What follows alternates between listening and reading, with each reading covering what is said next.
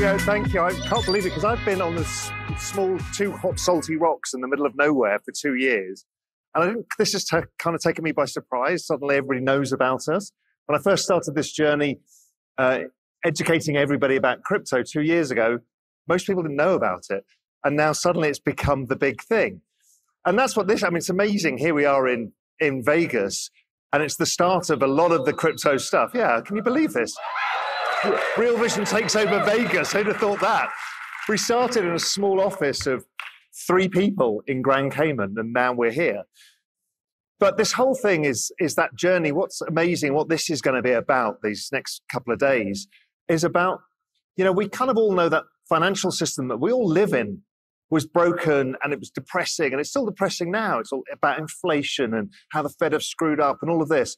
And suddenly exploded out of the last two years was this new world. This new world that started for many people in a journey of Bitcoin. And suddenly it's become a journey of, oh my God, all of money, all of value is about to be digitized and tokenized. And everything is changing. And this is the biggest opportunity any of us have ever seen. And it's not going to be a smooth path. Whatever we think it is, it's not going to be that. But all I do know is over time, it's going from here to somewhere exponentially over there. And that's an incredible thing. It just feels like for once we're in control of this.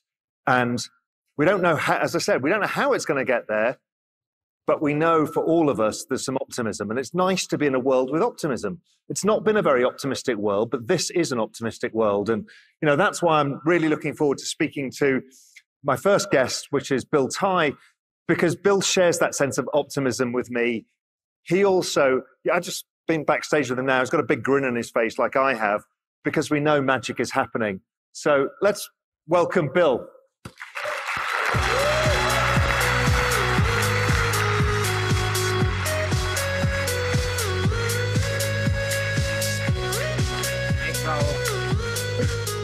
So this is weird because we always do this over Zoom. Yeah. Obviously, he gloats because he was an investor in Zoom, and it really annoys me because he's really good at spotting trends earlier than anybody else.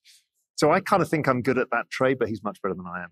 So, so what's funny is when Bill and I started talking, he talked about his journey into NFTs at first because you saw this really early. So for people who don't know, explain a little bit about NFTs because you were there with CryptoKitties in the beginning and you saw the potential before and everyone was laughing at you. They're like, Bill, what are you talking about? Yeah, so I, you know, I, I, I maybe a little bit more of my background. I, I'm originally a uh, originally a chip designer, so I, I learned to design computer chips and came out to Silicon Valley in 83, 84.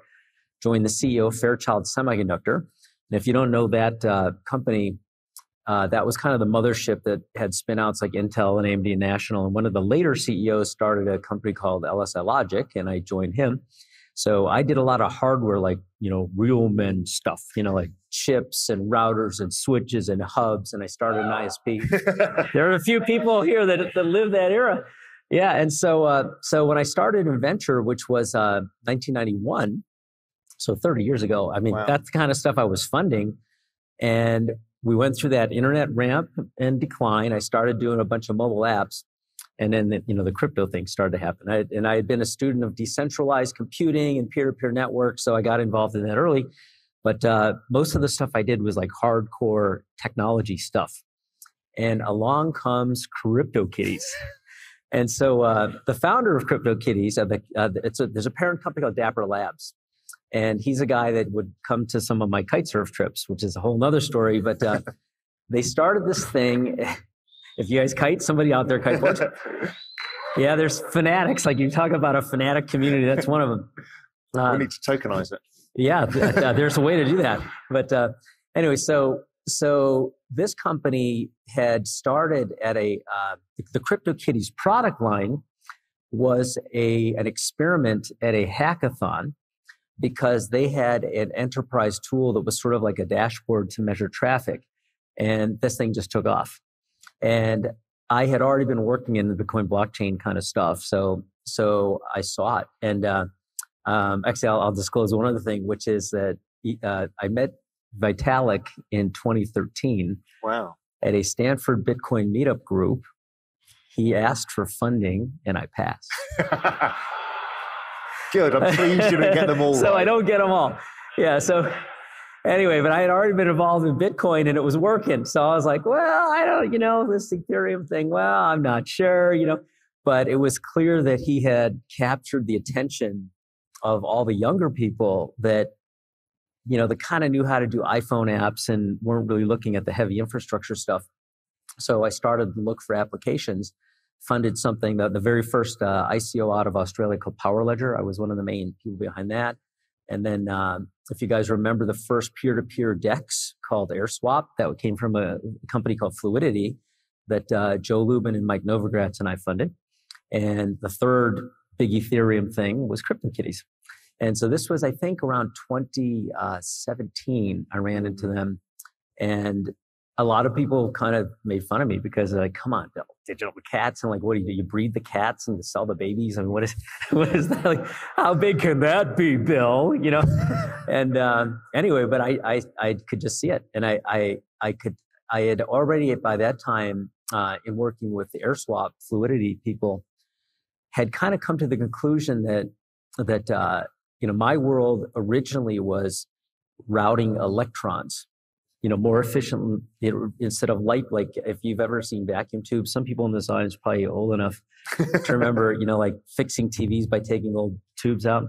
Okay, so all that stuff got basically flattened out and pressed into molten sand. So now it's all like computer chips.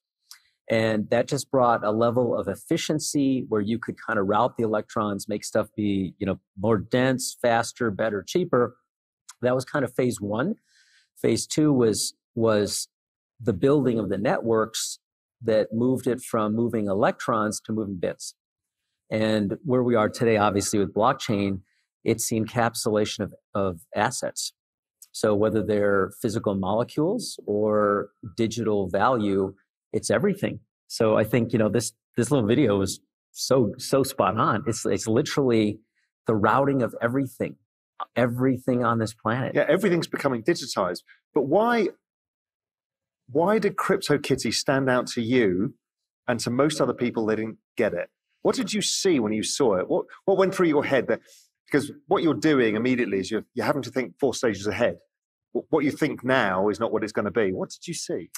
marketplaces so so as i started to see what you could do with blockchains and in the building of the the DEX that airswap had i started to look at some of the things that were naturally occurring in the world of venture that were very very high volume ramps but not necessarily economically efficient and i used to tell people hey you know it's it's a little bit early but um, you know if you were to start uber all over again you would make it a blockchain app, mm. right? So, and, and basically you'd have a car represented on a chain and you would assign ownership of that car for five minutes and you wouldn't have to build it. So, so to me, Uber looked a little bit like, again, you know, for people that are older generation, you know, if you remember before the internet hit, you had private communications networks like AOL, Prodigy, and CompuServe.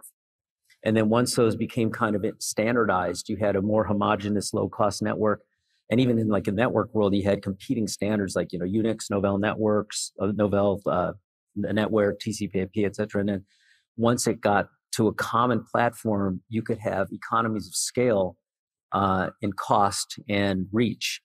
And so I think you know I saw Uber and all these other like the, everything in that category of marketplaces can be made a lot more efficiently in the next generation with blockchains. And so CryptoKitties was the first to me breakthrough consumer one because you know the trading exchanges for the cryptocurrencies they had already taken off but there wasn't anything that had broken through to everybody. Yeah. And i was like this is the this is it. And i said I, no matter what happens they are going to be in when i fund these early stage companies one of this was dapper labs you funded right dapper labs yeah yeah so when i fund these when i fund very early companies they they never have products they're building towards something and I just push the teams to get into something I call the vortex of information.